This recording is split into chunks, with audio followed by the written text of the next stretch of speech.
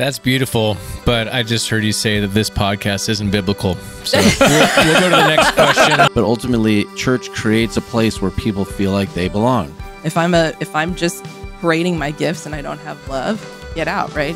We've been in those experiences in churches where you're like, whoa, whoa, whoa, th- that is too much, actually. He goes into the love chapter, which by the way, in context is not about a wedding. Mary was sitting where the only the men could sit.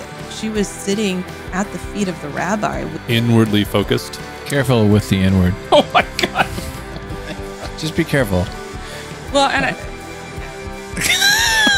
trying to like recover it. Hey everybody, welcome to Bros Bibles and Beer. It is episode 226. I am Jeff.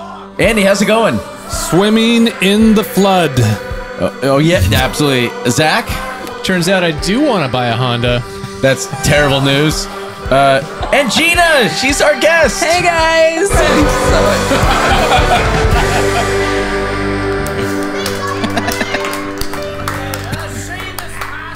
All right. And it's not a So terrible. It's not a terrible Tuesday for me. Hey. Thanks, Jeff. Thanks for doing that. But I'm just going to take over for a second here.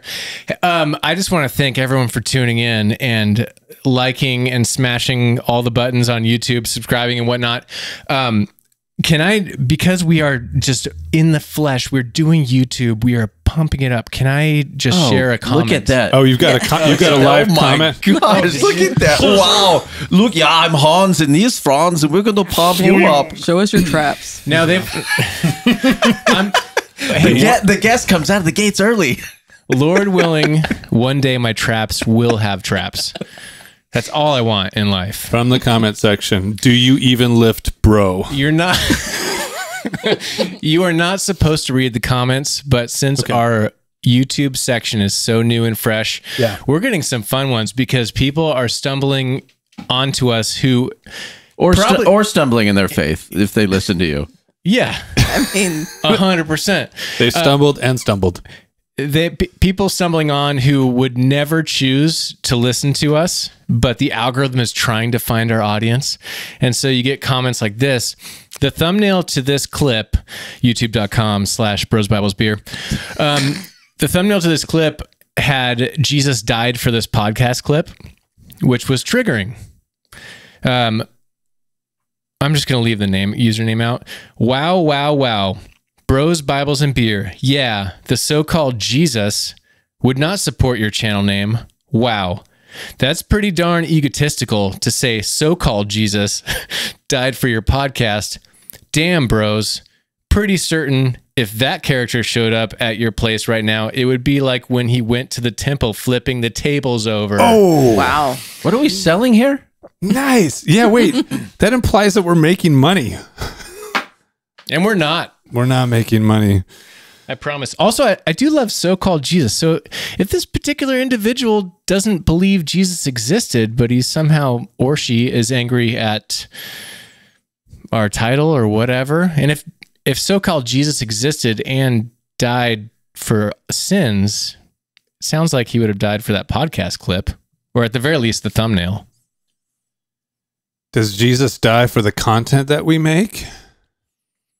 Only if it's sinful. Oh. We'll be right back. Hey, what are you? Hey, what are you guys drinking tonight? Uh, well, before we do that, should we also introduce the? Not yet. Well, okay. Drinks and then guests. Yes. We're Okay. gonna have her blurred out until we actually re- reference her. Priorities, Uh, guys. yeah, Priorities. David, can you make sure that just cut her out of all the camera angles until do this. the appropriate time? Yeah. All right. Well, we got we're gonna talk all things prayer and worship and whatnot, and hopefully fix um, fix me in those regards because I don't know how to do either of them. But we do have we mentioned David, David on the ones and zeros producing Yes. for us the double Deaton, Hello. and Uh, then David, when did you get back in town? A week ago? A week Two ag- weeks ago? from. Uh, I came from Portland, but I was in North Carolina for a while Okay. with dude. family. Welcome back to the West Coast, man. Thanks. It's good to be here. Good to be with you guys. Thanks for having me. thanks thanks for pushing the buttons. Yeah. Of course. All right. So, Jeff. I asked you a question. Oh, I'm drinking Brewery X in collaboration with Burgeon Beer Company. Burgeon. I, I don't know where they're from. And this is uh, Neon Lagoon West Coast India Pale Ale. Burgeon's a weird word. That's one of those that sounds. It doesn't sound good.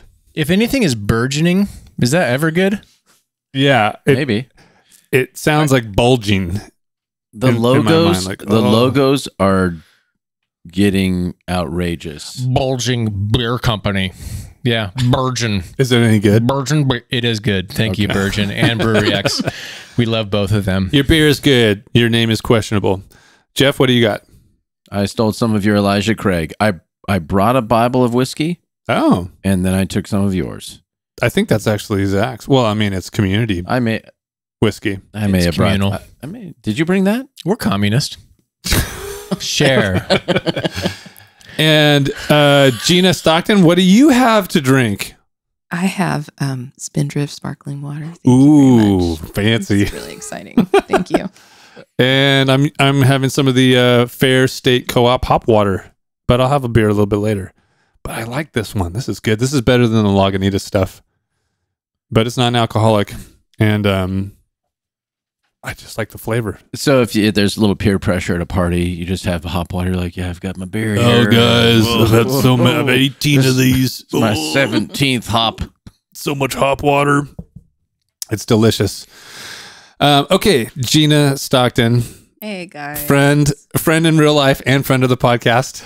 Yeah. um, introduce yourself to the the listeners and the viewers. Tell Wow. us a little. Uh, you do so many things. I mean, I could start rattling off titles for you. I feel like you know. I Like- mean, rattle away. I don't. I don't You're a even know. female. I'm a female. Yes. You're in an elevator in Las Vegas for the Super Bowl week. I'm sorry, for the big game. Okay. We're not supposed Don't to say sue us. Super Bowl. No. Oh. Well, I think if we're making money, we can't say Super Bowl, and that's real. you have to say the big game. Good news, big guys. game. We're not We're making money.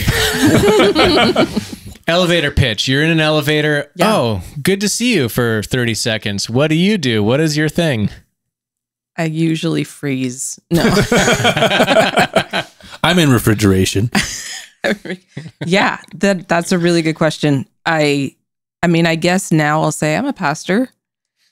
Um, there was a time where I would not say that because I'm a woman and you know. That's a really good walk point. The plank, Yeah. or Oh. be called a heretic, Why are you a or that? I practice witchcraft or whatever. Oh my gosh. Yeah. um, yeah, mindsets are. So yeah, good times. Um, anyhow, uh, yeah, I'm in. I don't know. I've done a lot of things. I've been in ministry for a long time, and so I've been a leader in a lot of different areas. So Andy, you and I met Yep. at a church. I was uh, co-leading the worship ministry with our friend Justin. Who has he been on this podcast? Not he yet. Should be on this. Not yet. That'll be a fun that one. would be amazing. Yeah. Um, yeah, leading a lot of different things, built a bunch of different things. Then I helped kind of lead an organization and build that up. And then it was while I was there that you reached out to me with the church that you're at because the worship pastor was leaving, then the lead pastor was leaving, and what I thought was going to be a casual conversation to help my friend Andy figure out what to do ended up me coming. that was going to be for six months, and it's been two years. So oh my gosh, already two go. years. Yeah. And some of those other things that you've done, you've you teach. You're, you're teaching a prayer class now. Yeah, yeah. So I do have my own ministry and I have a podcast and a prayer class, a prayer curriculum that I developed and guided scripture meditations and all of that. Some of that slowed down a little bit in the last year, trying to figure out what I'm doing as the church responsibilities grew. So I'm Yeah. still in that, like, okay, how do I balance all the things and what am I supposed to actually be doing? So And if people want to check that stuff out, they want to find uh, some of those things that you you mentioned. Where should they go? ginastockton.com. Um, my podcast is the Sacred Space Podcast. We have five seasons. I haven't put out season six yet. That'll probably, we're delaying that because of just time and everything like that. And then Dwell is, are the guided scripture meditations, and they're on all music streaming platforms. So Spotify, Apple Music, all that stuff. That's Uh, cool. But if you search my name in the music platforms, then it's easier to find. You just put in the word dwell, a lot of stuff comes up. G I N A Stockton. Yes. Yes. GinaStockton.com. Perfect. You've done this before. yes, she, she knows how to do it. She's a professional podcaster. Gina, Unlike us. Gina, I always thought you just uh, showed up on Sundays for two hours and then went home and sat in your house until Sunday and then came back and and That's you how know, most pastors do it. right. Yeah, yeah. Just praying praying. Well, the it's whole time. yeah. Well, it's some it's somewhat of the thought of the uh, the the school kids that I teach. They're if they see me at a supermarket, like, wait, you, Whoa. whoa, you're. I thought you just showed You up buy and food. what? Don't people who are just at church they show up on Sunday? That's the Yeah, only that's time they're they out do. into the wild. It does say man shall not live by bread alone, not women. So, Yeah. you know, buying food is optional, I think, for I'll pray for you, wow. dear Okay. Lord. All right. Maybe that's the cue. All right. So we had this idea earlier and we're going to try it out. Thank you for being our like test subject, Guinea pig. the guinea pig Yeah, here. great. Yeah. Uh, so ha- put, grabbed a, a few different questions here. Let me reach off camera. a few, A few, um, a few different questions. listeners, viewers. There's about 50 in his hand. No. Okay, so yeah, so you can see right here. Uh, I'm going to go to this camera over here. You can see all of these. These are these are all different questions. Now we've got the uh, Mandalorian helmet. Jeff, you've got it here. I do. the paper will be recycled. Yeah, yeah. Don't worry. Okay, let me put these in here. You're going to put them in I'm going to put them in. because I'm going to explain it. this so, is this so- is the way. Should I be afraid? because this is the way. so these, let's use these as uh, conversation starters for tonight. When you reach in there and grab one, read it. If you want to talk about that, then let's then read it out loud and let's talk about it together. Um, You and a if you control don't, freak. if you don't want to read it, shut the hell up. If you don't want to read it, Zack's anxious for specific questions to actually be pulled. he's like, I put a piece of gum on one of them. uh, yeah, then you can put it back, you don't have to. Okay. All right. Zach, your But if your you wife do- did some of these questions because she needed answers about you, right? Yeah, I, well, I'm a dumb old donkey, so I'm like, can you help me? but yeah, I need to be fixed. Wait, uh, well, Okay. yeah, that too. I am pulling the first. Wow. I am pulling the first question. Even though I said Gina can pull the questions, I am gonna have Gina pull a question. Wow. I teach kids things. Oh, this is a long one. Do you want me to read it for you? No. Um, there are worship leaders who are gifted and create rich Sunday morning experiences, but their personal lives don't reflect core Christian beliefs. Okay or not okay? Why? yeah. No, that's a that's a great question. Um, you know, this is something. eh, So, the church is something I'm very passionate about. Uh, in all of her beautiful brokenness, Yeah. in the messy, just broken place that she's in, I'm still very, um, I'm called to the church. I'm passionate about the church. And by that, I mean the body of believers, the community, spiritual community that we know as the church. And um, I have been walking with Jesus, I just realized, for like over 50 years Whoa. guys, I'm old. And I've been in a lot of church environments. I've been in worship ministry to some extent since I was 18. Hmm. Um, in very fundamentalist environments, in charismatic environments, and everything in between, in um, borderline cessationist environments, and all of the things. Can you I- define cessation? I mean, not for any of us, but Yeah. just in case there's a listener named Yes. Chad that doesn't know what cessation Hey, Chad. means. Hey, Chad. Listener So- Chad, this one's for you. Thanks for calling for in. you.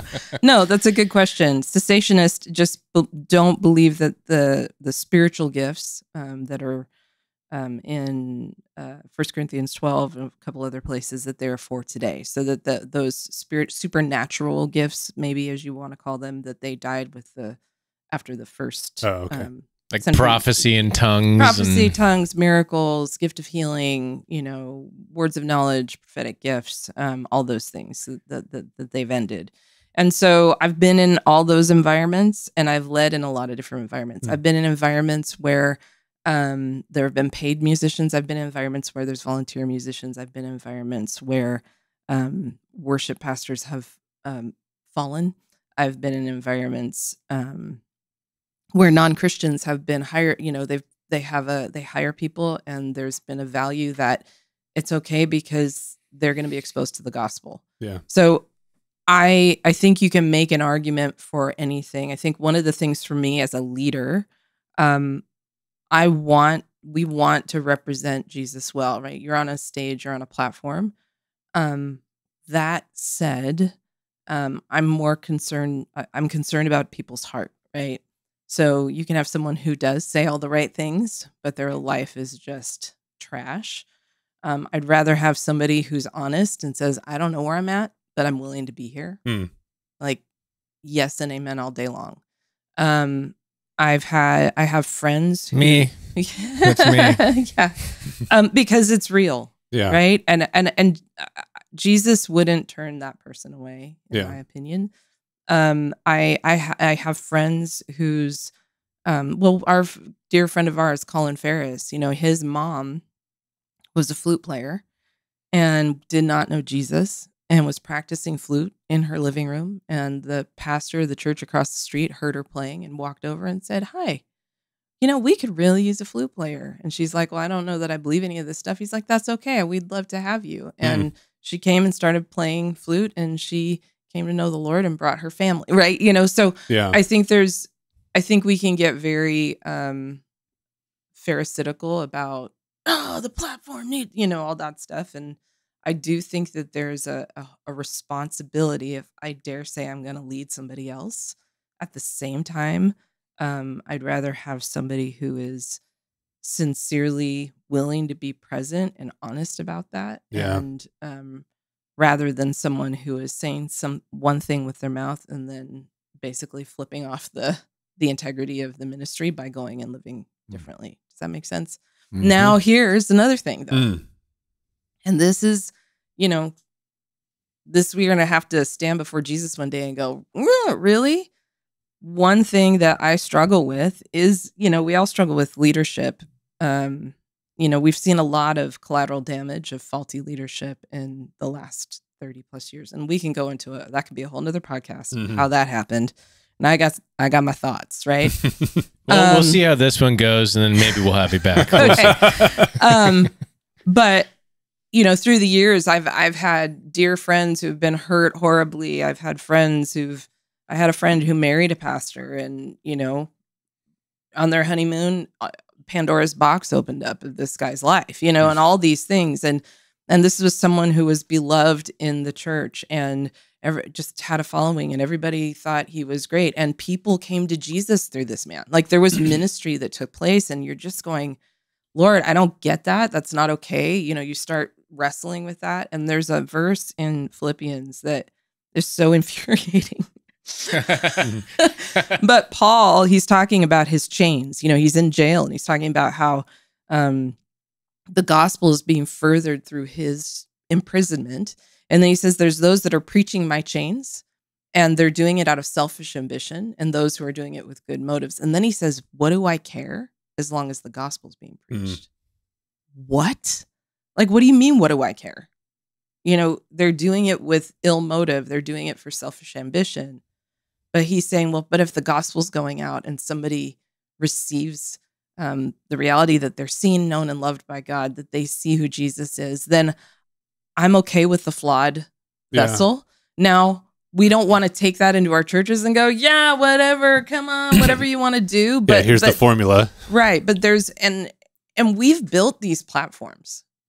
Hmm. Like, where's a platform in the New Testament? Like, I mean, here we're going to get on a whole nother, you know, Sure. um, spiritual community. What we do in church isn't even biblical. I wouldn't say it's heretical, but the gathering of hundreds, if not thousands, of people on a Sunday morning. There's a stage. We do these songs. There's lights, Now we're doing church. Band. Now we're now doing church, is happening. now church is happening and then the all important guy with the all important message that talks for 45 minutes and then the you know like none of that is Little chest hair exposed, maybe. I don't even have deep any, we don't even have any fish and loaves in there. Right. Jeez. so none of that is is really that's all cultural and so we've created stages nobody's supposed to be on a stage I just don't like the 45 minutes. That's too long. Well, even so, but when Paul says when Paul's talking to the church and he's he's writing his epistles and he's he's instructing because it's all messy because it's people and all the Mhm. crazy's happening. He's like, "You shut up, you do this,"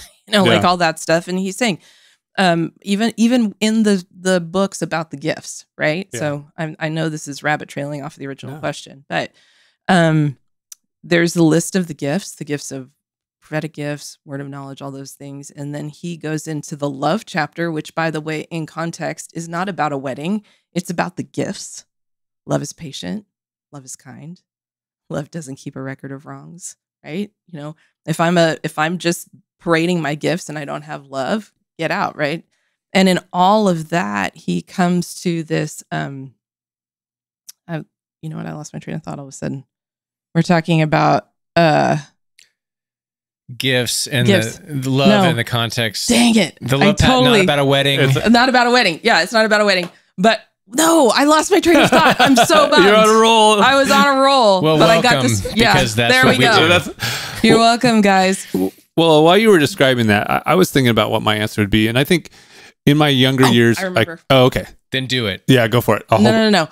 Um, when Paul, when then Paul, when he talks about order in the church, he's talking about what the gathering should look like, and he says one will have a word, one will have a song, one will have a scripture. You know what I mean? Uh, That's the that's how the spiritual community is supposed to interact, not have a stage. So I think having this stage imposes this expectation of like a priesthood, like like the Old Testament temple, how they should, Yeah. um, you know, there's this holy expectation of whoever's teaching, whoever's speaking, whoever's singing.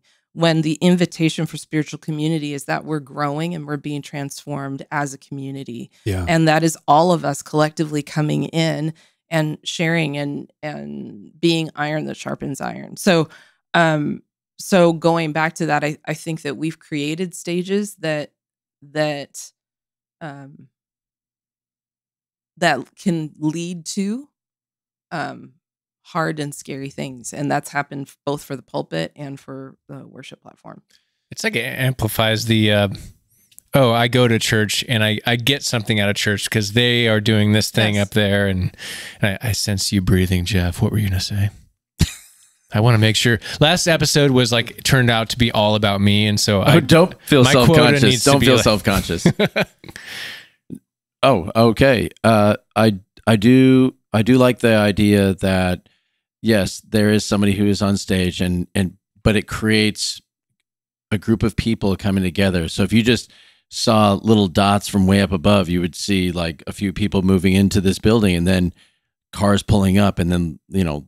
Little dots, little people walking into an area, This is what the government sees when it's watching all the religious. but it, ult- ultimately it's it's kind of like going back to like when kids go to high high school and it's like oh there's the sports people and there's the you know the drama people and but ultimately church creates a place where people feel like they belong. Like Yeah. these are my people. Yeah. And so everything is open uh, hopefully in that environment where you can just stop somebody who's not a friend somebody you don't even know but you're like I, I trust that i could stop someone that came to church today and just say hello how's it going?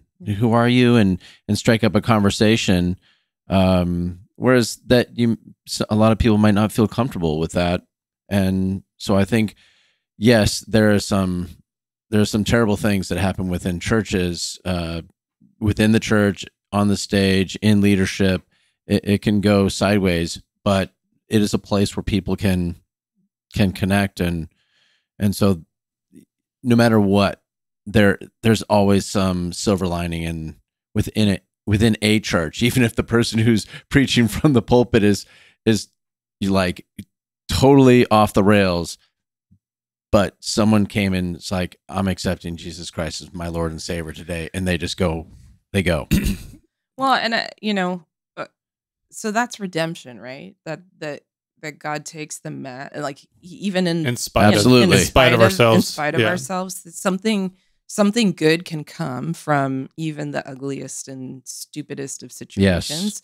That doesn't mean we want to create an environment that's um just oh, I don't care what you do or how you do it, or that there's no accountability. I mean, the the goal is that we come into a community and we want to grow to grow as people. We want to be accountable to one another. We want to mutually submit to one another. So that would imply that I'm I want my life to move Mhm. in a direction, right? And and so that would be the goal. Um, that doesn't always happen.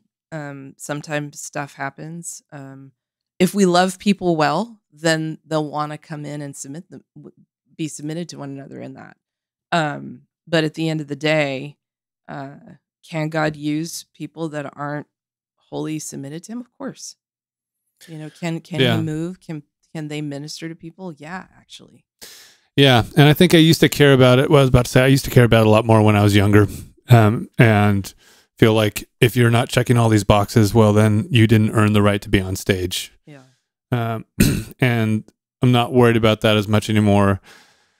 Uh, but I, I do agree with you too that it feels better if, if at least that person is is honest, even off stage. If they're like, "Yeah, hey, this is this is where I'm at," and and again, for some reason in my head, I, I will kind of make a distinction if you are like the main leader versus like a uh, someone who's playing in the band. Um, I don't think it's I don't think it's all the same. I wouldn't. I, I could. I think I give more leeway to someone who's like, "Hey, you don't have a mic." Well, absolutely. And and and hear me what I'm saying. I'm I'm not saying, yeah, sure, whatever. Yeah, I'm no. saying God is not going to stop moving and meeting his people and his kids that are genuinely seeking him because somebody on stage is being an Yeah. idiot. Right. Um and I do think that we all are going to we are all accountable to him, right? Sure. So if we have a holy God that is calling us. So, but we're what, what we're talking about is like that blatant um, disregard and Yeah. rebellion to who Jesus is calling the the life we're supposed to live, right? I've Um, also played with worship leaders who off stage were like off putting, and I could barely like stomach being around them. Okay, let's go to another one. Well, real quick, point of clarification. You Oh, used up wow. all you used up all your words in the last episode. Oh, I'm sorry. right, I'm sorry. You're not allowed to No. talk. I'm going to allow Zack to choose, and you can Oh. give your comment. Well, Go ahead. Gina had mentioned church being the way we generally the way church is in America is not biblical. Oops. Um, which I know what you mean, but a, a clarification. There's so much of what I see online is like, what's the biblical view of this? And people that ask that assume that there's like there's this one thing, and if it's not that thing, it's it's wrong and you shouldn't do it. Right. And I don't think that's what you're saying about That is not what. I'm saying. When I say it's not biblical, it's like you don't you don't open chapter and verse and see, oh, okay, so six thousand people or two hundred people show up on a Sunday, and then you're going to do a couple of They up watch. songs, and then you're going to have someone come up and do announcements, and then they're going to turn around and have everybody greet, and then there's going to be a slow song, and then there's going to be a message by a guy. About, you know what I mean? Like yeah, that isn't that. All of that That's is so cultural yeah. and and that doesn't mean it's wrong but when we build our own systems they're flawed as well. And the flawed systems create environments that can be compromising to us as humans. And i think that has happened a lot in the last 20 to 30 years of western evangelicalism and we're seeing the collateral damage of that. We've seen ministries fall we've seen leaders fall we've seen and there's been a great shaking. And i think covid was a big part of exposing kind of where we've placed our dependence that has not been Jesus. Sure. and kind of exposing these organizations and these people that we've all we placed our trust in. And and I think oh, God's kind of going hey guys over here. So again I'm not trying to Yeah. we one of the eh, in addition to that we tend as humans to be grand pendulum swingers right? So something we realize that and we like swing so far the other direction and then we start building something on the judgment or the rebellion of what we thought was wrong. And that's a horrible foundation to build anything on right? Mhm. that is heresy. I'm going over here right? You know or whatever the case may be. So you know i think there is an invitation from the lord right now to to look at him and to start to correct and realign um, our values as as an as a organism as organizations as communities um, but there's a lot of grace in that too and he is a redeemer Mhm. so he does work in and through the mess of it all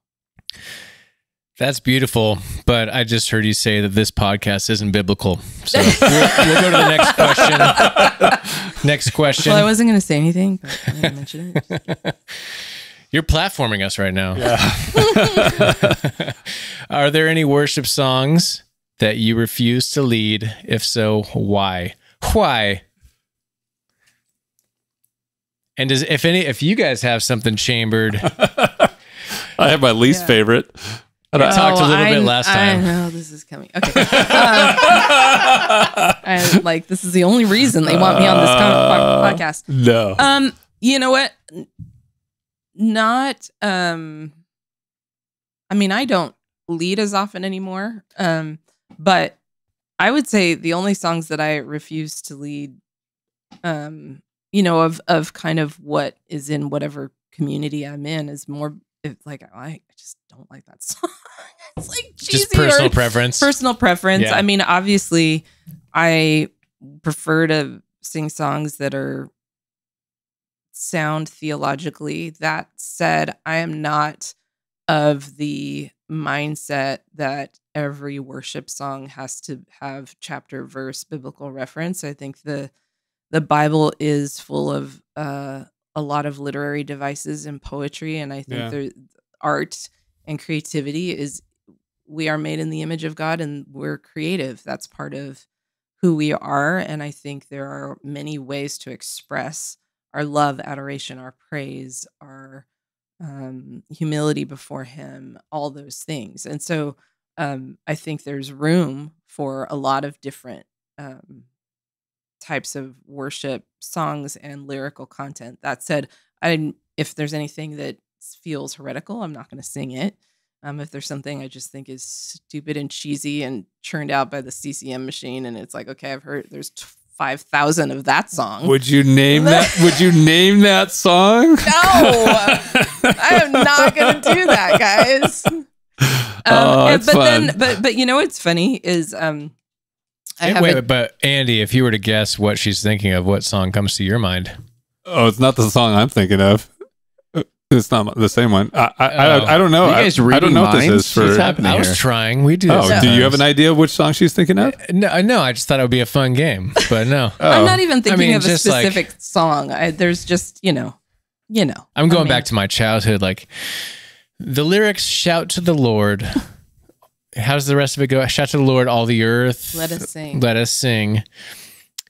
That just, you know, the words are just like shout. Let us sing.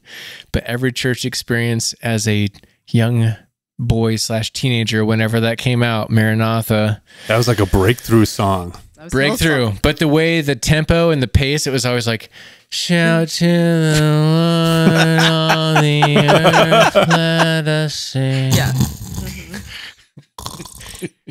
So that made me laugh even before I like learned to think critically about these things. I've played that one on stage before as the tempo is just plummeting and Yeah. looking around and like, how do we get out of this? So Because it's it's going slower Yeah. and slow.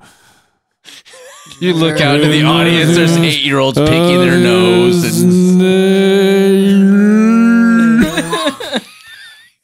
Dude, you guys- I sing for joy at the hope. Those are the words? Eh, this song actually never finishes. No, it never does. In that church, like everyone died there. Like eventually they just stayed, they fell asleep, and it was done. Okay, so there's no worship song that you will refuse to sing, but of course there's ones that you'd prefer to steer clear of. That's that's fine. Taste Yeah, I yeah. Whatever. I, I'm not. taste is not controversial. Yeah, I mean, I I love worship. I love. I mean, some some song. There's songs that are like so artistically not great, but lyrically they're just powerful, and so I lead them, much to my Mm. husband's chagrin. I'm, I'm married to a bass player, Norm Stockton, world, World famous, famous Norm. Norm Stockton. You can look him up, normstockton.com, and Art of Groove. uh, He's probably got a Wikipedia dedicated he, to he himself. probably does. Uh, Grooves and Sushi, uh, nice little web series if you are interested. Um, you know, he's he's a musician's musician. you David know, D and- didn't cut that last part out. He didn't. We didn't agree to that. Uh, yeah, that plug. is cut that one out. free and then- advertising. I don't We're definitely going to edit that. But you know, like he he you know runs in circles with like real musicians and they can get like ah you know get frustrated with the simplicity of Yeah. worship music and the same five chords and every you know and all that stuff i i'm not as sensitive to that because um if people can enter in Yeah. then i then i don't care if it's simple you know um but yeah so sorry for to disappoint No, no, that there's no there are no right or wrong answers, but I was looking for Lord I lift your name on high. Jeff. i mean i would not do that right now There we go. there we go There's your refuser. Okay, uh, who has not uh, chosen? Okay. Oh, let's see what we got here. Okay, do not touch my helmet. All right. Oh, I'm sorry. I'm sorry. What trends do you see in the worship space that are exciting and hopeful right now? Mm. And are there any that concern you? And I'm going to find another beer. But I love In case you couldn't tell, that's not a natural laugh. That was a stage cooked up laugh because I think she means something else by it. Uh, that's a good question. Um, I, I think a trend. Wow. I love That Andy was trying to avoid the trying cameras. None of it is avoided. I was tempted One episode, we just one need to have Andy just like that. We'll just rest our beers. Was I in the shot the whole time? I, I cut to the other camera. Oh, okay. Thank you. Like a professional. the one that just shoots the shark picture. My rate just went up. Yes. It did. this is why we've hired you for free, David. So funny. Okay. Uh, yeah. So, so, um, Yeah. Um, the question again, because I forgot it. it wh- what do you see in the worship Trends. space that's exciting and hopeful? And then are there any trends that are concerning you right now? yeah. Um, yeah. That's all the You don't have to are hide it. opening. Yeah, It's no. Amazing. Um, good question. Um, let me just go back. It's interesting because how long has Maverick City been doing their thing? Maybe four years. Four or now? five years in that ballpark? years. And I remember when they first came out, and that was a very um there was something really exciting about that because they were kind of apart from the big worship movements, which would have been like Hillsong Bethel, Elevation, you know, big production, big Passion. lot of sound, a lot of all the things. And they were like, let's just get a bunch of people in a room around some microphones and let's just go for it. And there was something really raw about it. And and it it ignited obviously Yeah. and then momentum grew and then it became a movement right and and i think that- 2019. 2019 yeah so um and what is fascinating to me is that we have a whole generation of people believers so um by generation i mean generation of in faith but also generation in age that have never experienced worship out of the con- outside of the context of a worship industry a worship platform Mm. videos instagram accounts like um, what's the latest song with the latest video they don't they've never worshiped out of side of the context of a performance they they haven't experienced just being in a living room with friends and guitars and just worshiping jesus and lavishing him with their affection and their attention and their love Yeah. and that um i want to be careful to say that, that yes that concerns me but I, I here's something that is grieving me a lot right now in the body of christ not just in the worship world is there's a lot of people who kind of think they've cornered the market on jesus and so they're pointing the finger at someone else saying that that's not right and what we have is right or that's false teaching or what we have is we've we have the right thing or wow that worship movement is dangerous because they're not doing x y and Z. Jesus would turn those tables. yeah and so i'm i'm sitting here going oh be careful like i, I do feel this hunger and call to all to the church to like it's time it's time to stop messing around Mhm. we serve a holy god like like look at him and and quit messing around um and by that i don't mean to be religious but like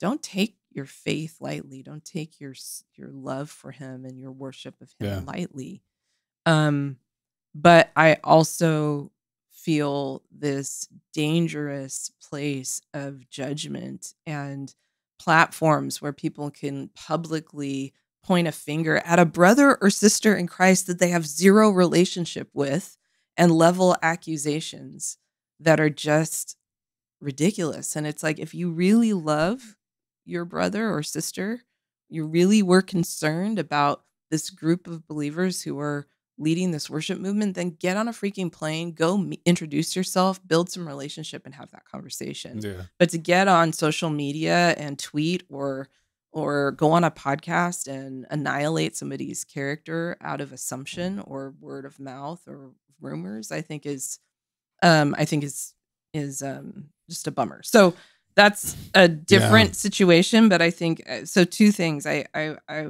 I long to see people be able to experience worship outside of the context of a platform stage screen performance Yeah.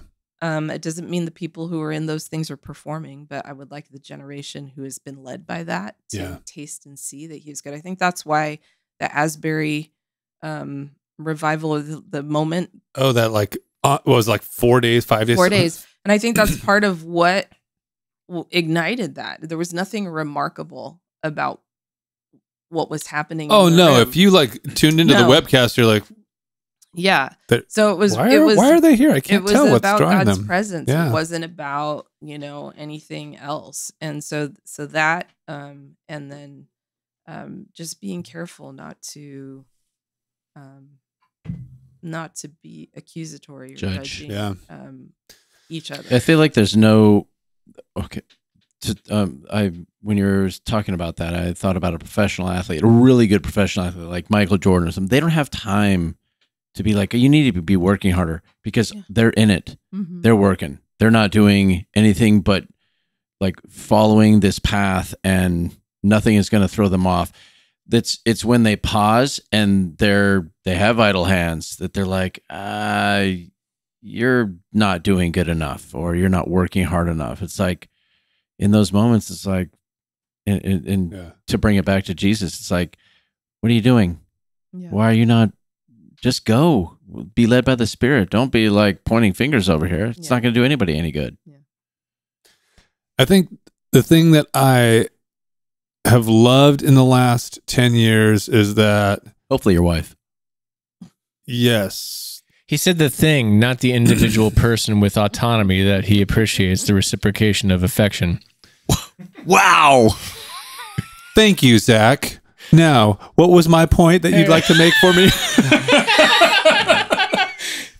Hey, you did it last time, last I know, week for me. I and, know, you it's fine. I'm returning the favor. yeah, speak to my lawyer. Twinsies. Uh, I love what has happened in the last 10 years in terms of like the sound and the aesthetic of music. I, I felt like it's been elevated so much more and it's, and it's just, it's just way better. yeah. It really is. I mean, and I'm kind of like pigeonholing a little bit into a certain genre of, of music, which is, is that like Bethel Hillsong. Um, I don't even know what you would call that, but it's just g- general worship Atmospheric. versus like gospel, etc., et which has much more going on. Um, and I think the thing that has been so while that maybe while the m- the musicality has elevated, uh, I do feel like the depth has has there's been a trade off there in terms of the depth of the lyrics um, that are coming through. Yeah. Sorry, I, I laugh because it, they're, and I'm a curmudgeon when it comes to a lot of these lyrics, and I don't pretend to have anything figured out. Obviously, if Oh, you've man. listened to for five minutes, but multiple times it's like, wow, these lyrics are shitty, but I love playing this song. Yeah. multiple times. No, there's some Yeah. there's some that I'm like, uh, yeah, the, the song is more fun to play than it is to actually like sing. But I know there's people out there, or out, even there out there. There's people, the the plebs that are below me. I guess I'll put it this way: like I, I, I hear what you're saying. the The danger in my mind is that like you will we get wooed by uh, catchy melodies, right? Yeah. And then all of a sudden you catch what you you, you take a moment to think about what you're singing. And you're like, and I've caught myself being like, wait, do I believe that? And then the other part of me just goes, this is so shallow, it's boring Mhm. you know and and and so like i'm looking for something deeper so when i compare this the lyrics like that to i'm going to cherry pick a great example like come thou fount Mhm. which Yeah. is as rich and deep and layered as can be. I'm, I don't expect everyone to come out, you know, swinging for the fences like that. but, um, but there there are other versions where it's uh that, that I think we encountered today that just seem very like inwardly focused. Yeah. Careful with the N word. oh my god. Oh my god. Just be careful. Well, and I, yeah, trying to like recover, but uh, Sorry, guys. I'm not sorry. I'm not sorry. sorry, you not can sorry. laugh at that, David. That was funny. a little closer to the. There we go. Thank you. Pull that pull that mic a little closer. It's okay. You We're can doing a show. It needs to be engaging. It Needs to be engaging, guys. Yeah. Tell me when to start clapping.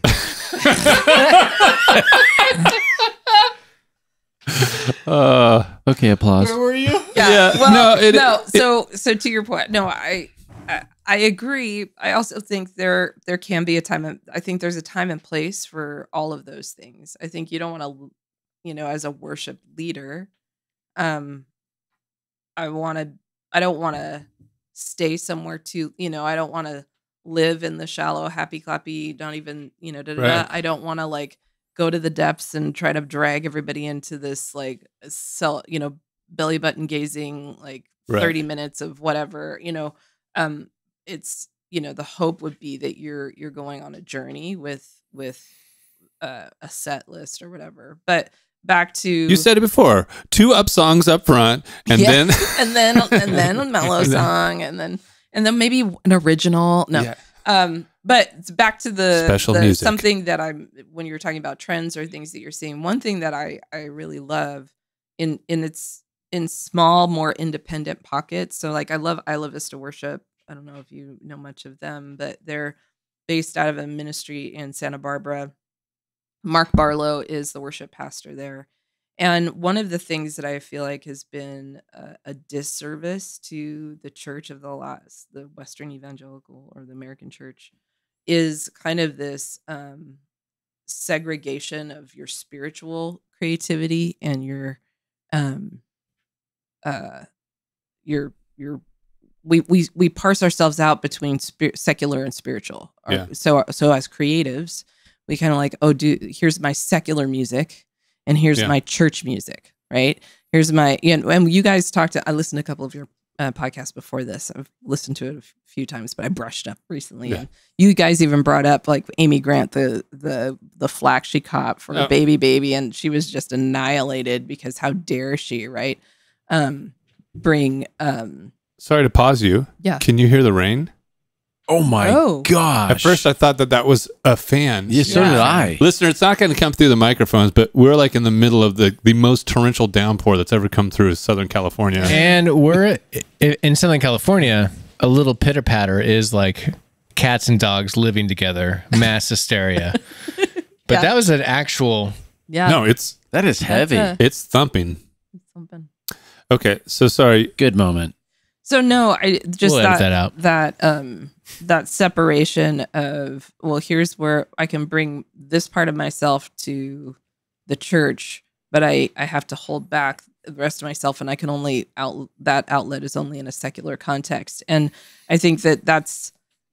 Um, I think we're called to live an integrated life, you know, and have Sure. an integrated faith. And so um, I love Isla Vista. Like Mark Barlow has a an album called uh, souls and Hy- soul and hymns or hymns and soul and it's like one song is about jesus the next song is about uh relationship with a girl the next song you know and and just that this is this is life Yeah. like I, I am a son i'm a daughter i have a god i he's in my life and and this is all of who i am um in his presence you know and i don't have to sing about jesus in every song that i sing you know i wouldn't that wouldn't put that in a worship set Yeah. but I love that um, artists and musicians are not parsing out themselves like, okay, here's my here's my secular artist name, Sure. you know, and but then in the church world, I'm this, you know. Um, I think that's that's a sad um, state of affairs when we have to do that, and so you know,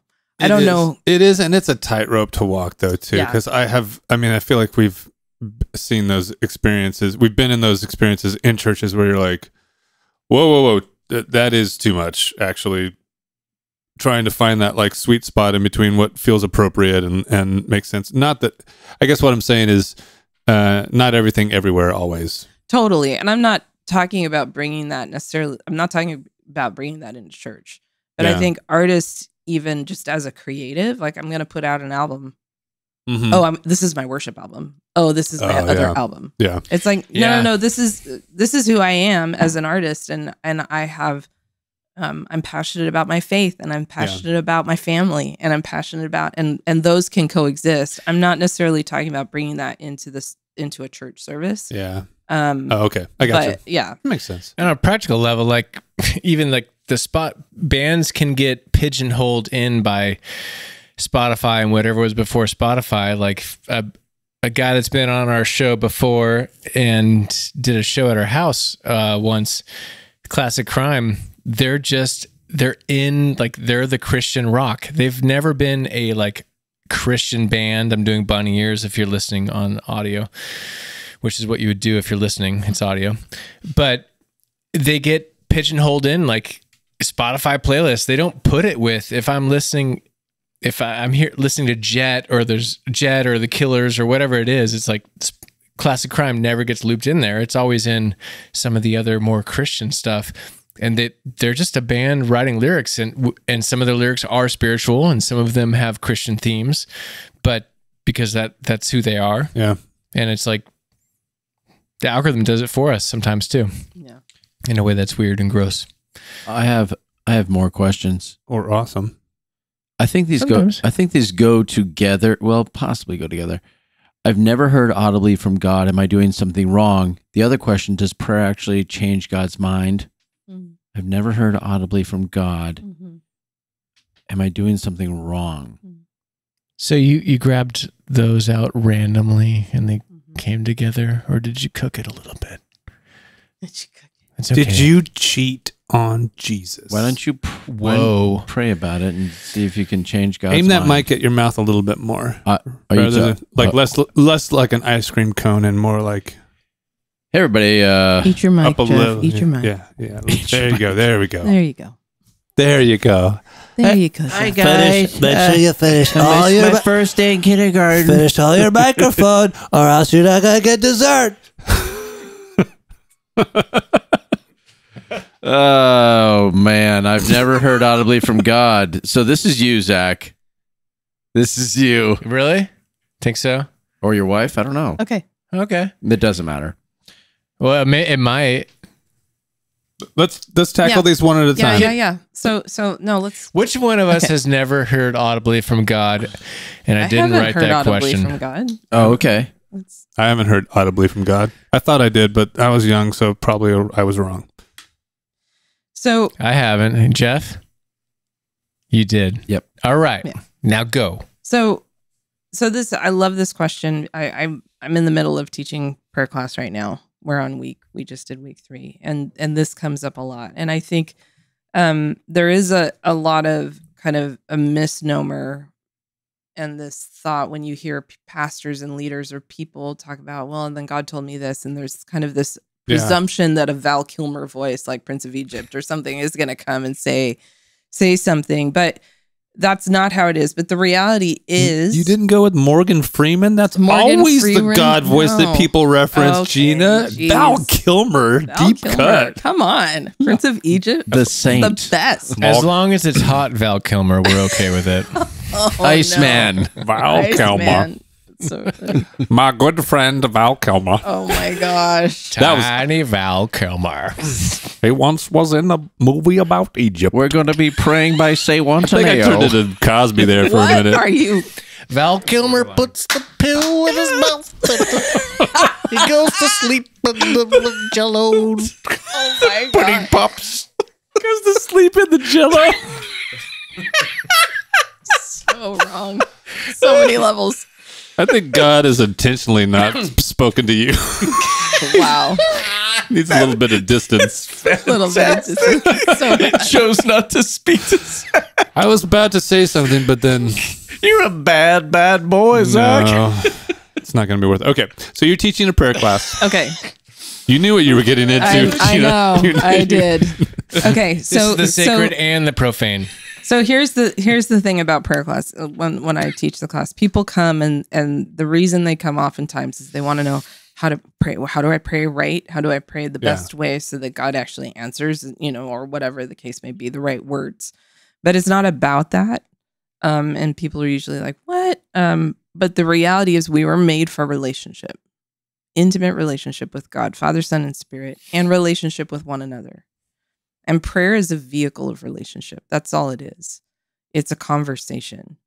Um, it is as much talking as it is listening, but is that listening waiting for this um, supernatural, ethereal encounter or experience or audible voice? Not necessarily. Um, it's getting to know Jesus and getting to know who he is. And the more I get to know him, the more familiar he becomes and his voice becomes. And I, each one of us is uniquely made, right? So there's diversity in who we are, um, who you are, how God made you, the gifts He's giving you, um, your heart, your mind, uh, the uniqueness of how you are made. Zack, Jeff, myself, we're all different. So we're all going to hear from God differently. Um, but we, as we practice and cultivate our relationship with Him, we will start to discover how He's speaking because He's speaking to all of us.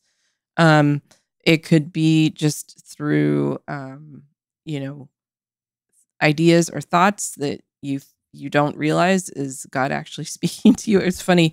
Um, we had a woman who actually, um, kind of received Jesus for the first time in prayer class. She's been coming to church Whoa. for a month, a couple of months, and came to prayer class and was like the first night, kind of like uh and we were gonna pray for each other and she's like whoa i, I didn't know i was supposed to pray for somebody else. I just wanted to hear about Mm. prayer. This is my first time. It's like you don't have to pray.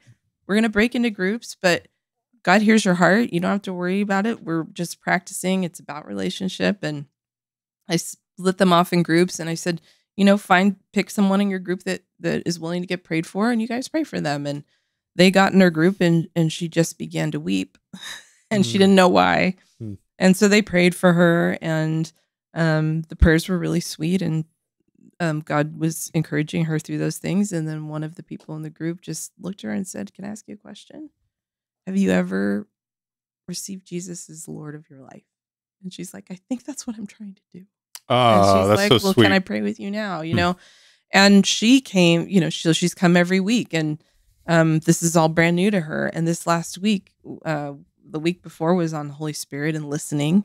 And she's like, "Yeah, I don't hear God's voice. I don't think I don't hear." And I've been praying, I've been asking to hear, and I don't hear. I don't hear. I don't hear. Except, you know, today I was. Um, uh, I had written down some stuff, and then for some reason, the word "listen" just popped into my head, and I don't and it just was it- and she was even going it was right here Mm. you know it was like listen and then and then it was like patience like be patient you know and it's Mm. like yeah that's that's the holy spirit speaking to you. Like it doesn't have to be this big grand thing. It's not this thus says the lord or this suddenly holy voice. It's it's learning that he is with you always and he is moving and he is um he is speaking through people through um thoughts that you have through um a, a sense that you have i think i'm supposed to do this or i think i'm supposed to go here. Um and you know we talk about testing you know is that the lord is Yeah. that not? Does it line up with his character? Is it contradict maybe the character of god then it's probably not him but um there are ways to kind of go lord is that you? and you know confirmation but um you probably hear god more than you realize you do and um in prayer class the invitation is to start paying attention and listening and by listening it doesn't mean like what was that you know right. but listening in like being aware because he is moving and he is talking and he is with us So Yeah. I have a this is man, I've got a theory and I'm going to do a little advocating for the Dark Lord for a second here. and then maybe Darth Vader, you guys you guys correct me. Luke, I am your father Um give me that helmet real quick.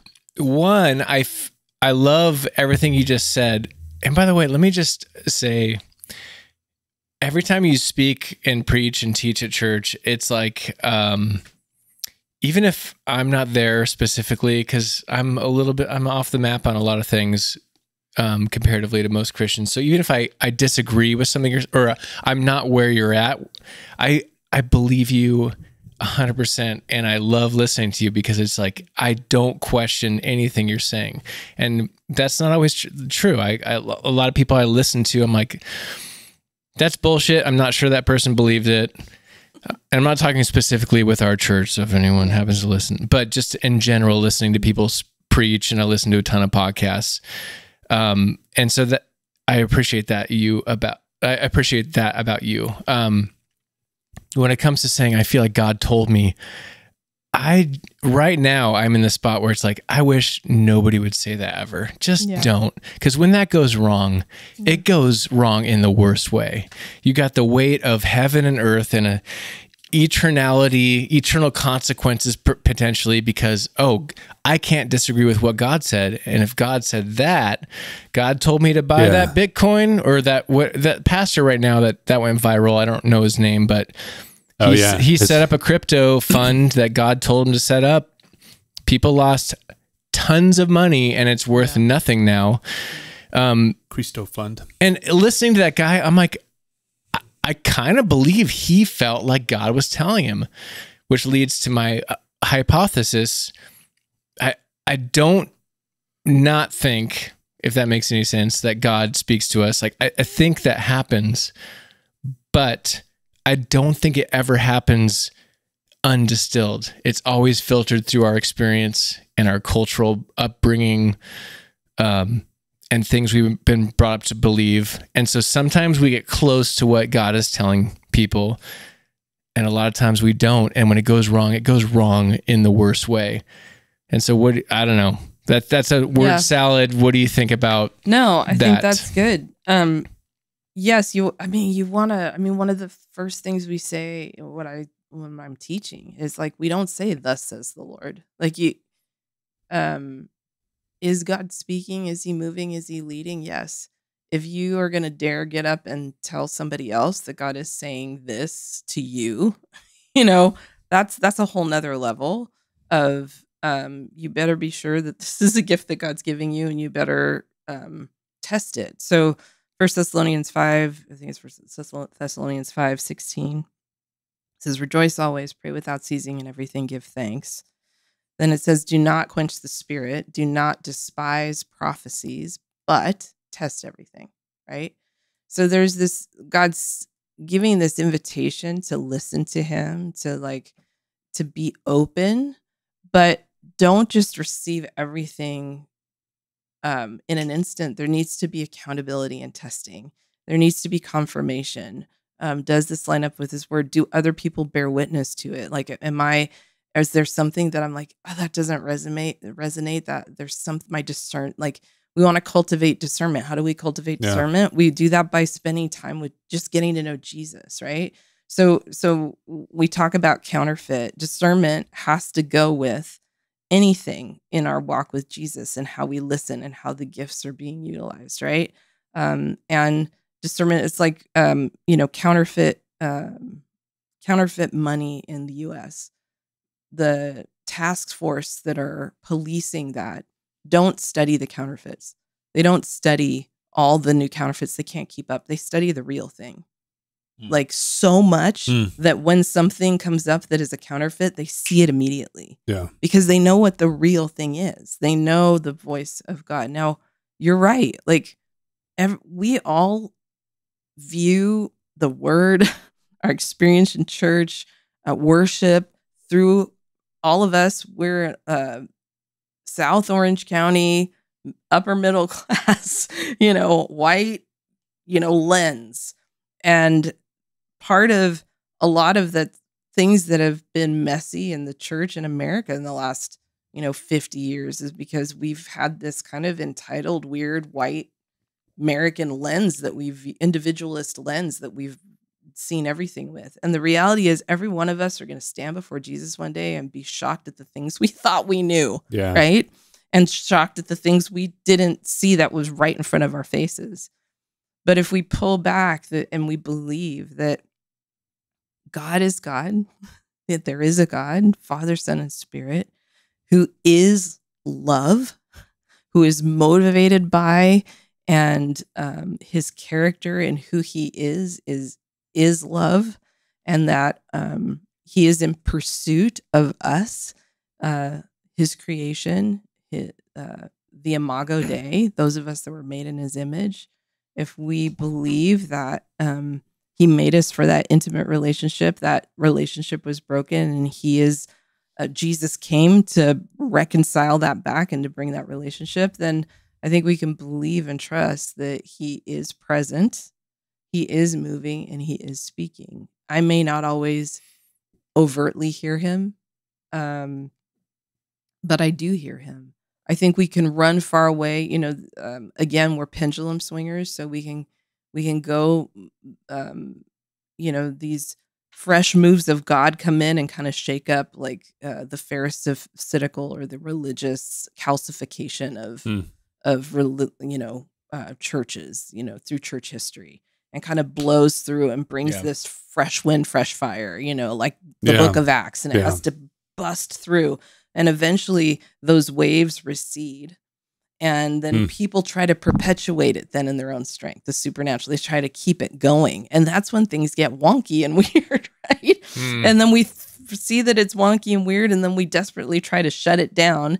And our reaction is to hightail it again, Yeah. completely the opposite direction, and shut it all down. Uh, and I think that there's there's an invitation from the Lord because there's there's a lot of mystery with Him.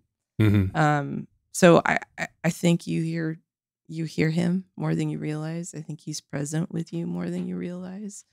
Um, I think uh, you are probably led by Him more than you realize, and that's and but it's okay to not. Um, and and I agree with you. There's a lot of damage that's been done by people thinking they've heard from God, and you know. But here's the thing with even spiritual gifts and the Holy Spirit and stuff is that they're gifts.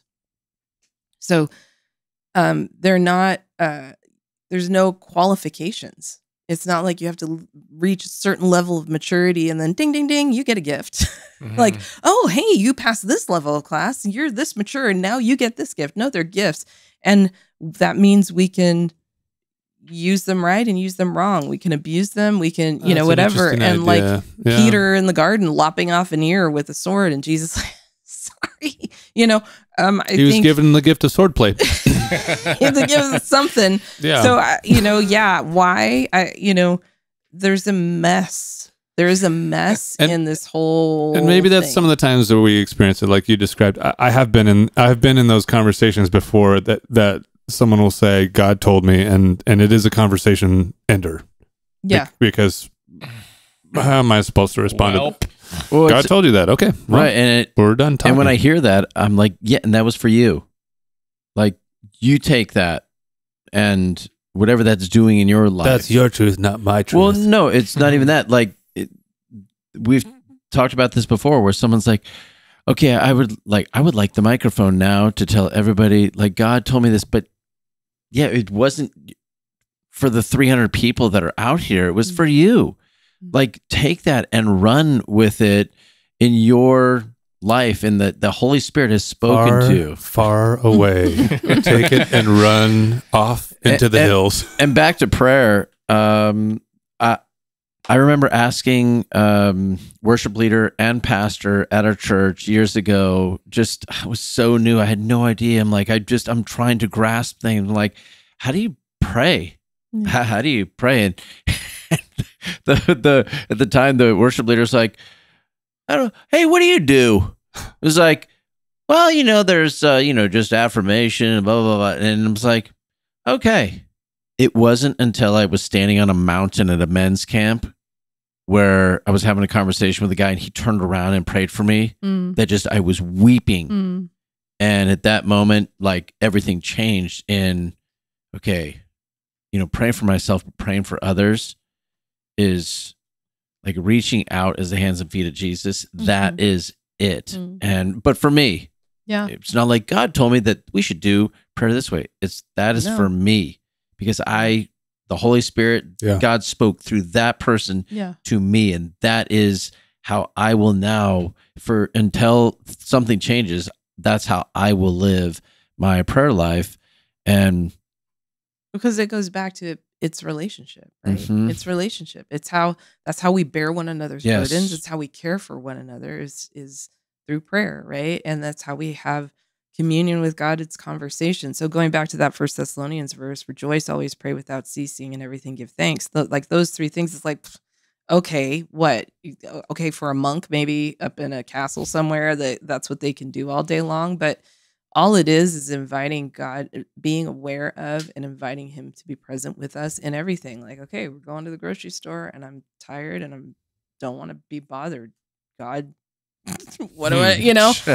like, dang it, you know It's what like I an mean? And just- operating posture, like Yeah. a modus operandi. it's just being present with Him and letting Him be present with you because He already is. And then what what could that lead to? Yeah. And you know, I bet you know it's like you go to the grocery store and maybe you stand in line and for some reason you see the cashier and you're like, "Man, I wonder like you just feel this compelling to say something or to encourage them." Like that's the whole that's the Holy Spirit. You know, that's that I, I feel like that's that can be God just kind of nudging you.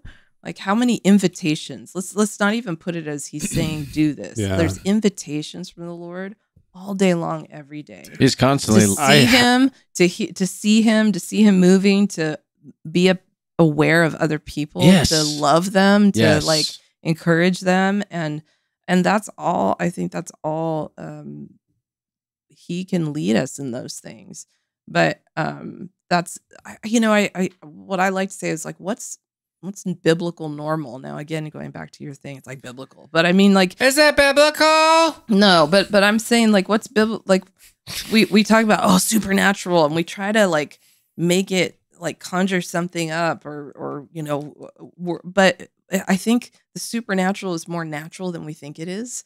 It's more how we are wired than we Mm. realize. I feel like And there is only natural. Yeah, and we're so distracted by so much now. Like we were not designed Yeah. to live the way we're living. And um I just think there's more there's more relationship and more of that um that's happening than we are able to be aware of.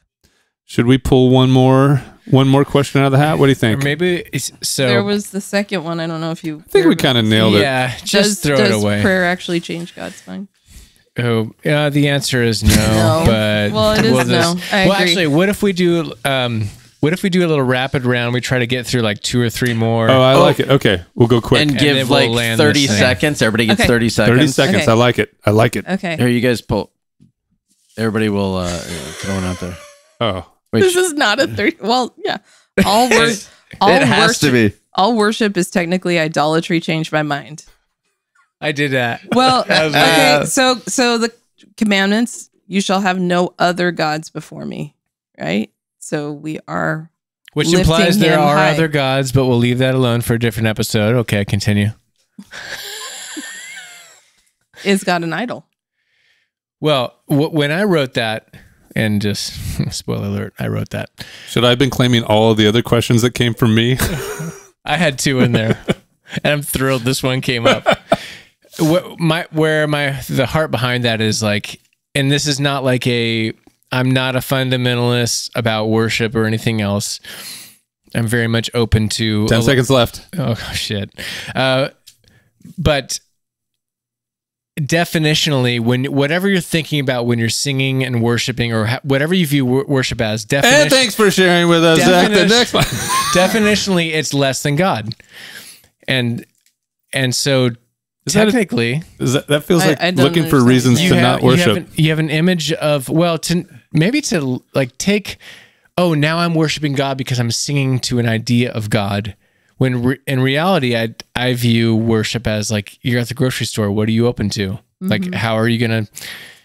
Well, somebody all of somebody might be worship. hurting. Yeah, okay, and that's that's where I'm. That's where- I guess that's where my right heart is. so behind so that. we we yeah we we've we've pigeonholed worship into the 20 30 minutes uh, Yeah. you know of music It's a, in a gen- worship it's a service. genre it's now. a genre but that that's an aspect that's a facet of a very multi it's of life really Yeah. So Uh, this is quick. Our Sunday morning worship teams really just Christian cover bands. I mean, yeah. Thank you. Well, the- so you know what's really interesting? Back in back the the hymns, the Yeah. the hymns, which is the Yeah. irony here is that when like back in the Jesus movement, when the new worship choruses were coming out, and the the older people are like, those are not Yeah. you know godly and Yeah. but the hymns were all many of them were bar pub songs that they changed the lyrics Yeah. to so yes in essence yes yes. Nice. She agrees. Okay. Nice. Uh, here we go. Uh, I love this one. What's the biggest train wreck worship moment you've ever experienced, and how long did it take you to recover? oh lord Ooh. there have been a lot uh Stream of consciousness. First thing that pops to Yeah. mind. uh oh well this was this this probably wasn't necessarily the worst but this is the most recent and the one that was like crap really? So i was leading at shoreline. Trevor kelso had had me come in to sub for him. And um it was great great band and everything and we're doing the blessing. And the blessing has that high you behind you beside around," you know over and over again and so we're going and It it's like end. at that top end of my range I so you're that. belting the band for some inexplicable reason we did not rehearse it like this dumps may your presence come up and they and they stopped. leave you hanging. they left me hanging and, I- and this is what i did i'm like "Got behind you and beside you all around you and within you Spoken word. Spoken word And with that, and i went Have in, a wonderful Sunday. and i went into a prayer Oh my That's- gosh. i actually did that so you're welcome Uh, and hasn't been back since. So good job, you go. Shoreline. Oh, shoot. Uh, hey, quick. in Just Bethel kidding. music, helpful or harmful? helpful Uh, here's a really easy one. Women in church leadership. What's your position? have you have you been? Oh, have you seen this done well or poorly? Women in church leadership. Yeah. Um I I grew up in a very fundamentalist um denomination. So so much so that when I was in my 20s I wasn't even allowed as a woman to lead worship for an entire service. I could be a part of a worship team and maybe lead out a bit of a song. But But you're not leading, you're complimenting, I I think. was yeah. Um so the whole idea of being in leadership wasn't even a possibility or on the grid and yet I'm someone who has leadership gifts. So that was a weird juxtaposition. So I never imagined that that was even something I could do or should do or that Mm. it was a possibility for me. The churches that I've served at in leadership both as volunteer and staff, I was never in a place where th- that was affirmed uh, the church you and I were at was not affirmed. I've never held, I've never actually to this day held the title for what I actually do. I've never been a staff pastor. I've never been a worship pastor. I've Mm. never been the leader of a ministry because of those things. Gina Stockton, helper. so um, I have to say, coming to helper. coming to the church that we're at now um is honestly the first time that I've actually been received fully as a leader as a woman. And it was a little Hmm. bit like, wait, um you- you okay, you sure? Sure. You okay? This is you, me. You okay with that? This feels different. Um I never preached on a Sunday until I did at that church. So I have Oh. taught on a Sunday exactly 8 times and they've all been in that context. Really? There. Yeah. it doesn't Yeah. feel like eight times. Yeah. I think it's been 8. I mean, You, you- you're saying it feels like it's been forever. What are Yeah, you saying? yeah, it Like doesn't it's feel- been super Yeah. long. and- So so Yes. all of that to say is I I will be honest I wrestled like Norm and I both like we re- I grew up not believing that women should be pastors so I had Mm. to wrestle with that and go Lord is this okay like I want to be obedient to you I don't want to you know practice heresy I don't want to Yeah. be deceived like you have to wrestle with all the things and kind of go and then and then going back to that paradigm and lens you know um you we read the bible with that lens. Like it's just been in the last few years that i'm i'm seeing verses i've read a million times and went going wait i never even saw junia. Mm, like actually i never saw that phoebe was a leader and a deacon. I never correlated the reality that you know the whole mary martha narrative has always been about martha being too busy and and Mary resting, but reality, Mary was sitting where the only the men could sit. She was sitting at the feet of the rabbi, which was reserved for men. Hmm. And Jesus rebuked Martha and said, "No, she she belongs here."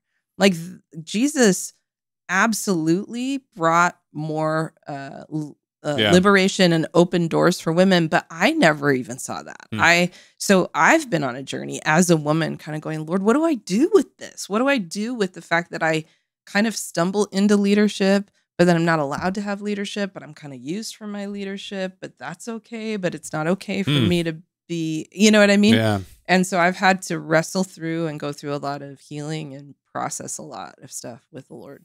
That's good. In connection with that, are there feminine and masculine differences in worship? And if so, how do you experience that? Should the church be doing anything in terms of leadership because of these differences? Differences between feminine and masculine worship.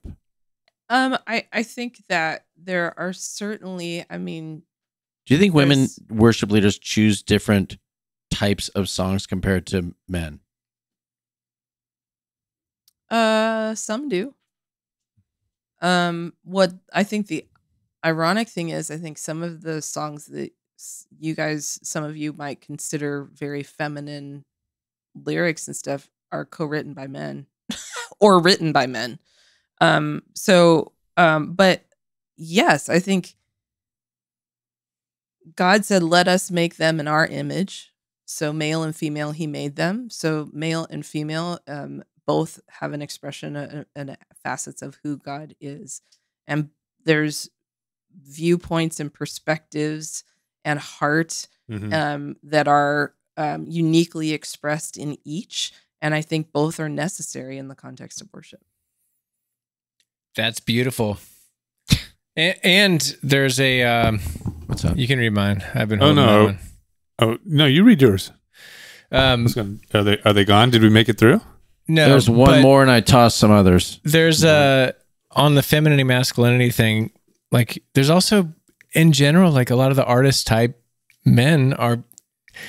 If there's like the most masculine dude, which is Arnold Schwarzenegger or some somebody like that, um, there's you know artistic guys are artistic more guys are touch with their generally yeah there's a little bit of more femininity and it's i, I don't think our it's wrong friend to justin has more shoes than i do uh, and most women i know and and he is an incredible artist and he's a dude and he's you know like all the things so i mean they're they're you know like well let's are we gonna get hyper stereotypical like oh this is a this is a dude song. It's a you know it's a It's a anthem. bro it's a- anthem. yeah, no, no, you know or whatever. And then there's the How dare you "Oh, stereotype the you know bro? reckless loves like uh you know Yeah. um but I you know I I think I think both can standing there, crying inside my Do you see Reckless Love as a feminine or masculine song? uh Do you think God's love know. is reckless? Do you think He's really reckless? oh my with his love? gosh I I so many people say that it's so funny. Is he no, I'm reckless? just I'm just it- pulling out a do we song. Yeah, serve I a know. reckless God? I Okay. agree. You know. Uh, well, I, he's reckless. It's, it's just willy nilly. Love is all around. You just need to open up to the idea of it. It's seemingly reckless. all right. What are some doubts, if any, you wrestle with regarding your theology of prayer? That's a pretty short answer. um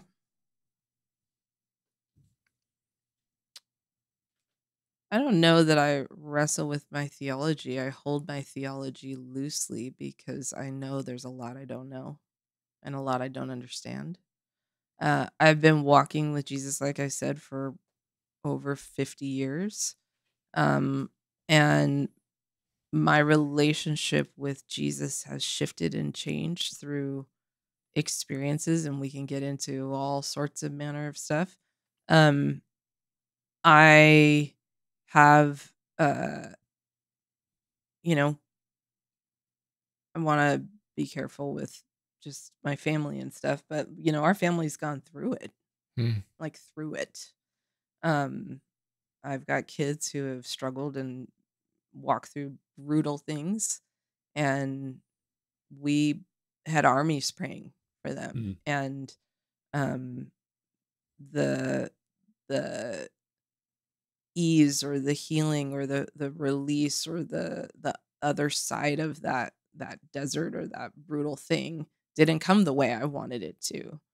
Um does that mean that the answer was no or that he- Jesus didn't hear my prayers or was it God's will that you know I don't know I think he's present with us in all of that um but yeah I've I've wrestled with him I've you know Mm, come on yeah. um, I've wrestled with the reality that you know my upbringing. My parents were not married. My mom was a cocktail waitress. My dad was a lounge singer. They were both alcoholics. Um, I came to Jesus at 12 years old. I grew up in bars, throwing Shirley Temples back at three in the morning with you know really unsafe places all the time with my parents.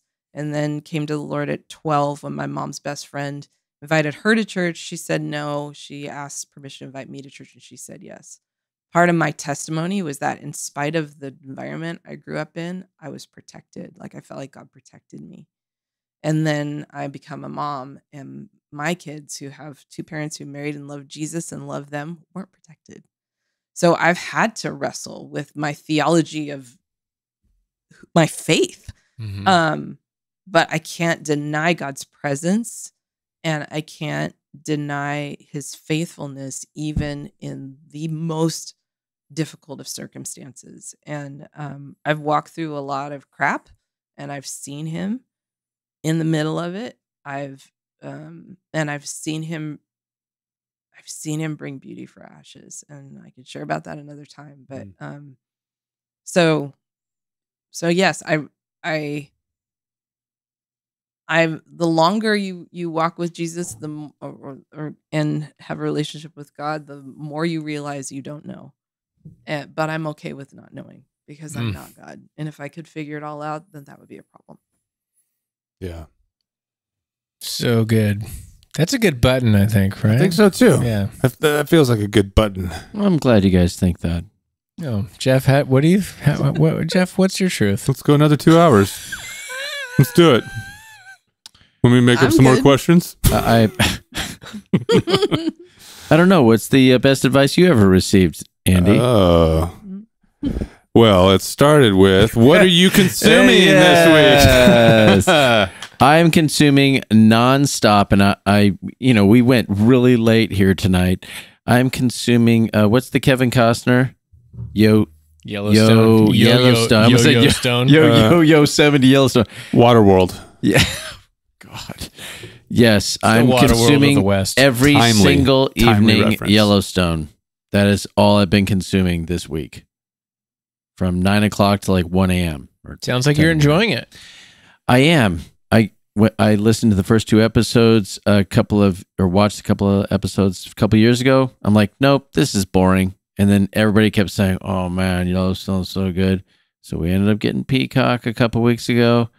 And now I come home from work, and we Tanya and I don't even say, "Hey, how's it going? I love you." Blah blah blah blah blah. Shut up, sit down. She's like, Sit "Okay, down, I turn watched on." I watched season two, episode one through four. Okay, you need to catch up tonight." Okay, That's. That's awesome. Uh, no, it's not I awesome, stu- but it's just it is awesome. I watched Yellowstone. It's fantastic. Okay, great. Yes, It's fantastic, Jeff. and I'm glad that you finally recognize how fantastic it I is. think it's interesting, Jeff. Have you guys watched 1883 or 1923? Not yet, but I hear they're crazy. Amazing. They're so crazy. I heard people oppressed other people and then they took their land. Gosh darn. it. I hear it. the 18 one is like nuts. yeah. and that's a different century.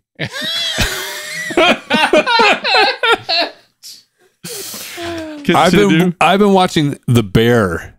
Have you guys heard oh, of The yeah, Bear? it's good.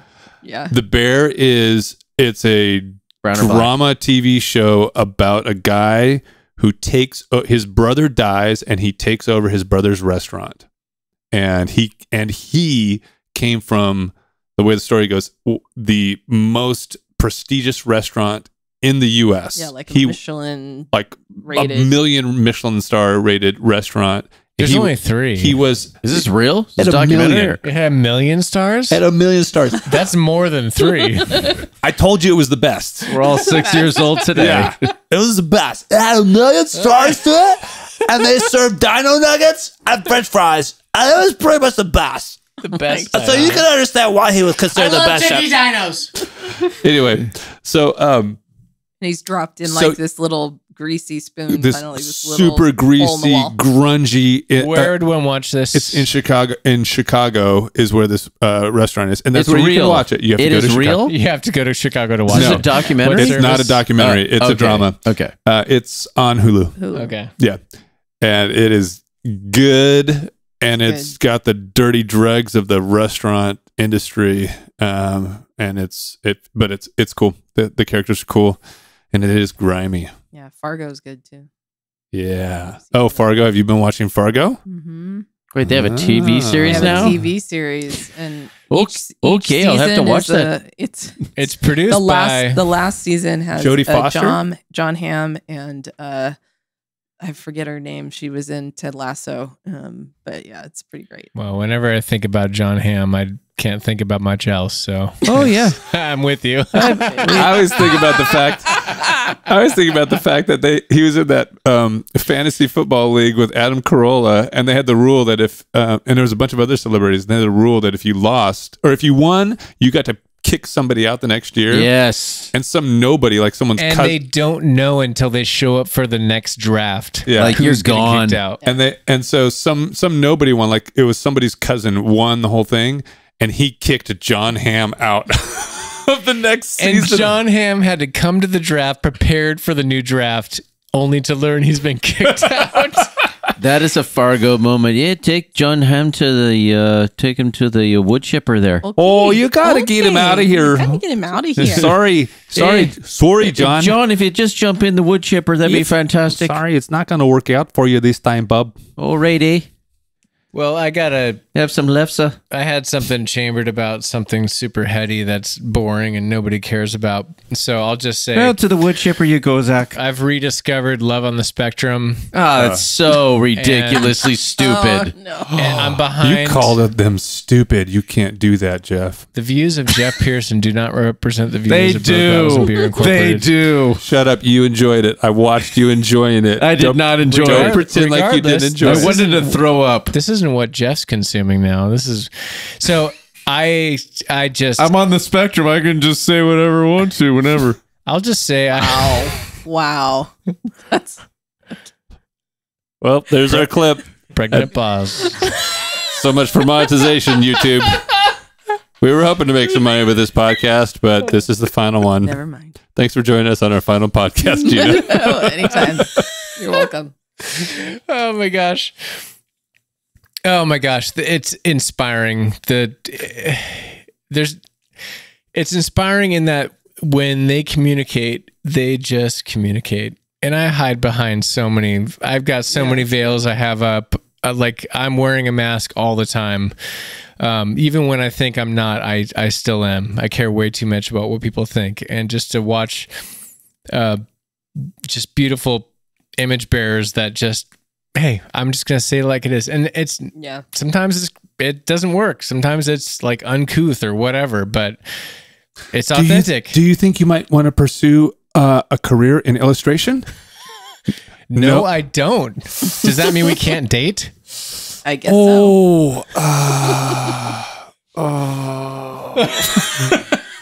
That's the general reaction. yeah Just- and i know it's edited to make a tv show but- Yes, that's what makes me want to so throw up. Sweet. It's well, so that's sweet. when you make TV, you have to edit it. but I don't doubt the people there that are just, you can tell when it's like, no, they just say what they think. And it's, it's beautiful. So now, Gina, in addition to what you're consuming, the final question that we've kind of gone off the rails, but we used to ask a lot is if you're walking through the gates of the New Jerusalem and you get walk in music, yeah. Oh no. So I don't know if you want to close with what your walk-in music will be, or if you want to just tell us what you're consuming and then do the walk-in music, or vice versa. But go What's for con- it. Consuming. Like anything, book, Book, uh, music. This week. What's captured your attention Yeah. that you love? What in what content have you been? Content. It doesn't have to be. A, it doesn't a even have to be. It doesn't have to be content. Sometimes Yeah. it was like running for me. Um, I have like three books that I'm reading right now. I'm reading um uh, the making of biblical womanhood. So talking about going through that kind of the historical, how do we get where we Mm. are, and what what what got tied up. Um, uh, I Death to Deconstruction. I just finished by Josh Porter. It's a great book. Hmm. It's his journey through deconstruction. Now he's a pastor. Um, Would he hate me? Do you think? not at all. Okay. You guys would get along great. Mm, okay. Uh, He's got to meet you first, then he can. hit I you. like to make everything about me, but so thanks for yeah, indulging. No, you're, you're welcome. uh, I've been going back to old school music. I've been digging up old things. Um, baby, baby. No, no, but I don't know if anybody ever remembered Leslie Phillips. You're probably too young.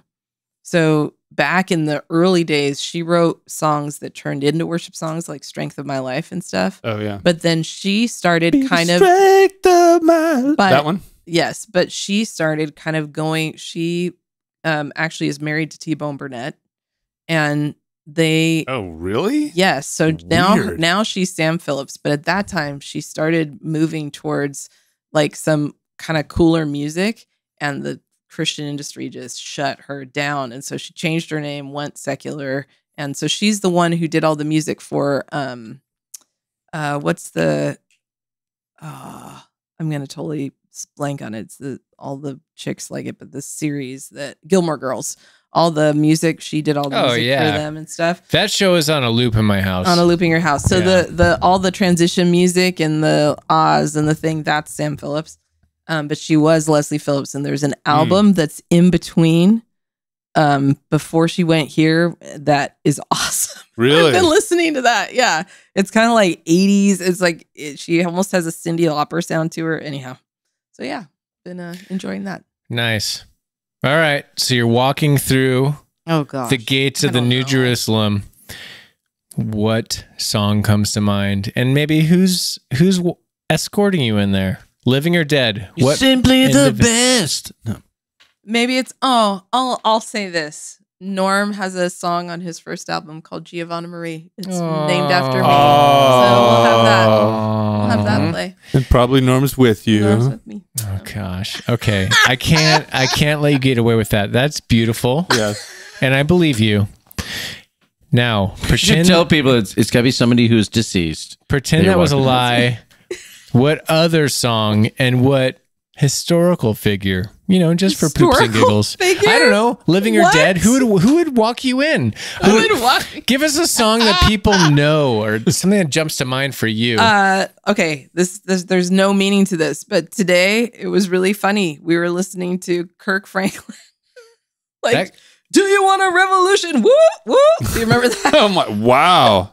All right, deep cut. Oh, that works. Do you want to? re- no? That would get people hyped. No, that's great. was- Th- it's there's a no- great hype song. Yeah, it's it is. like There, there are no wrong answers, despite what right. Zack just implied that your Yeah. first answer was wrong. There No, are no wrong, wrong. answers. It wasn't wrong. I just wanted to That would explain. be a on it. blast. All right, this this is good. By the way, we forgot we we do have one more. Uh, David, what have you been consuming lately? Give by us the way, one. David, Yeah. David, are you, get up on that mic. dude, David is laying on the ground right now. I know. D- David, you get up? Throw the microwave. Uh, microwave. consuming. All right, thanks, David. Yeah, I, I mean, I know. I've been spending a lot of time with family, so uh, not really watching a lot. Um, That's good. I- Consuming family counts. consuming family. Um, You're a cannibal. and Whoa, making, that's gross. music. I've been consuming the making of music. Oh, nice. nice. Um, That's good. But I've been reading. Uh, there's a there's a book called No Bad Parts.